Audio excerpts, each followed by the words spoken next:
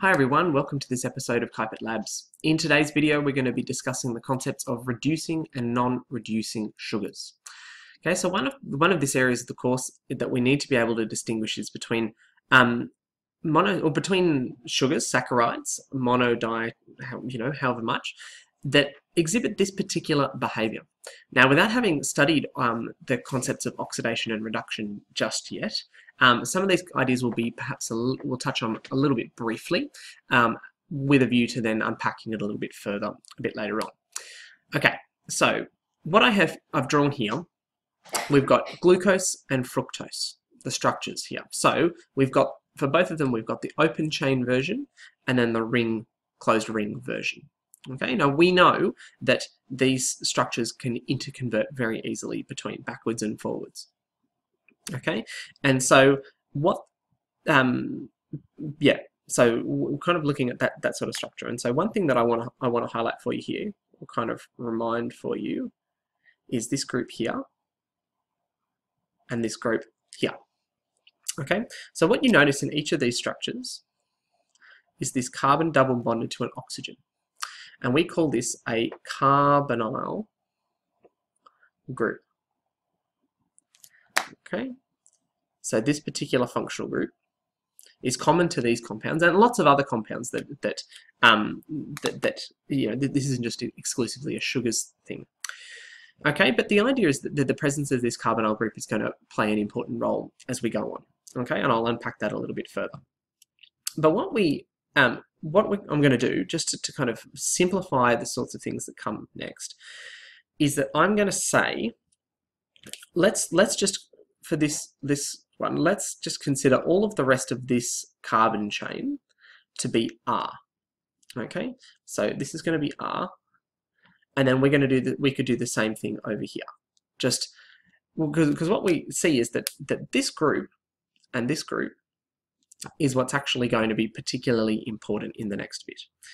Okay, so what we have, that glucose and sugars like it, we're going to represent as R um, CHO. Now that CHO is just this way of, of abbreviating um, that particular format. And then fructose, we're going to represent it as RCO CH2OH. Okay, um, so the R kind of representing the rest of the sugar structure, and then actually making sure that we are showing um, these extra groups. Okay, so what the, the reason that this that I wanted to, to highlight these these kind of structures for you, this carbonyl group, is that this group is what's um, really crucial in actually changing around to link together to become um, for, uh, yeah, it becomes the OH group that's here and here. Okay, the oxygen that's here is the one that becomes over here. And so it's the one that, yeah, when we're linking together from the open chain version into the closed ring, the ring version, that it's, it's really crucial. Okay, and then it's the OH group that's over here that becomes the oxygen in the ring. I'll just even go that one extra step to kind of to remind you of that fact from, we've looked at this in the video before. Okay, um, but so what happens is that it's to do, what, what this concept of reducing and non-reducing sugars has to do with is the chemistry of this carbonyl group and a particular type of reaction that it undergoes. Okay, and so what we're going to do is then, um, I'm going to use some of this, this kind of um, terminology. All right, I'm going to clean the board off and then we'll, we'll get to that. Okay, so we've cleaned it off, we've established this, um, this kind of general sort of terminology for, for this reaction that's going to come. So what we recognize is that the structure of sugars like this, that these um, sugars are easily oxidized. Okay, so a type of chemical reaction that involves um, changing um, the structure of these compounds into um, carboxylic acids. Okay, and so what we get is that this becomes something along these lines, and that this becomes something along these lines. Okay, now actually what I might do, even for, for simplicity here, or just to help you kind of understand how this particular one is kind of arranged. Is to do this? Like that. Okay, um, so what, what's happened here is that we recognized, um, and I'm going to put an O in square brackets over here, which is kind of a universal chemistry symbol for this, this type of changing process, oxidation. So when we're thinking about this sort of chemistry, that we, we use terms like oxidized, and the companion process is reduced. Okay, so oxidized and then reduced. Um, because this is um, a type of chemical reaction that occurs in pairs. A bit like when we looked at um, forming ions in the past, that one gives and the other takes. So oxidation and reduction, which are the names of these two kind of companion processes, involve electron transfer. Okay, you don't. Um, we, like I said, we will discuss the mechanisms in much more detail as we go on. But for now, um, it's just it's something that that we need to recognize. That saying that if this change happens, and in doing so that that happens with because there's another reactant that is changed as well. If we can pick a reactant that is changed as well, that's easy to spot, then we can use that to distinguish or identify the sugars that are easily oxidized.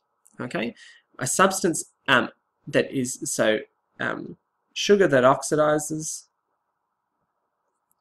is known as a reducing sugar.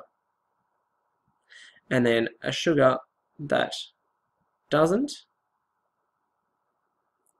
oxidize is known as a non-reducing sugar. So what we need to be able to do is use this simple chemical test to be able to identify the sugars that do oxidize and or undergo this change and distinguish it from those that don't.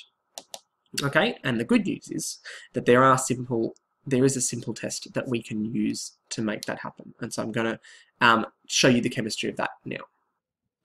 Okay, so what we're calling this is its Fehling's test or reagent. Now, it's, it's not the only test that is out there, um, but it's the, the kind of the gist of, of what we want, which is a solution of copper 2 plus, um, which is in an alkaline um, solution of the tartrate ion, okay, which comes from tartaric acid. Okay, so what happens here is that our um, our reducing sugar is converted to a carboxylic acid. Now I'm gonna I'm just gonna do a couple of little simple processes here and then combine it together into one equation that I want you to write down. Okay, so don't write these down yet. Okay, so our sugar is being changed to a carboxylic acid. And then what we're getting is our copper, which is in the presence of hydroxide ions, is then being changed into a, a substance of copper, um, copper oxide. Okay,